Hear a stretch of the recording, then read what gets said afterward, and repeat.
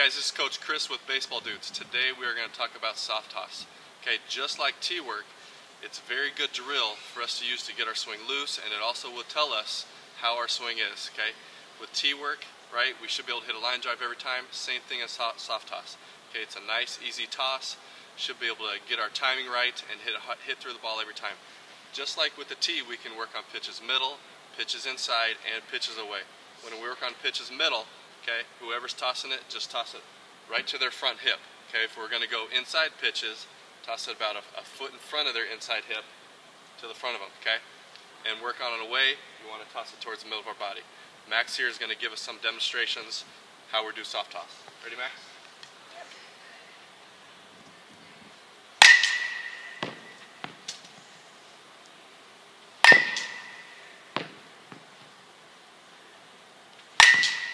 All right, inside.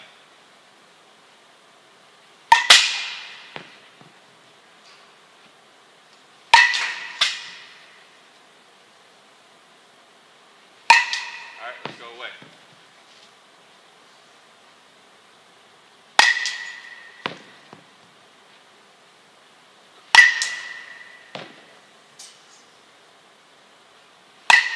All right, great job, Max. Very nice.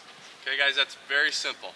Soft toss, another great thing, just like tee work, to help make our swing right. How is our how is our mechanics of our swing?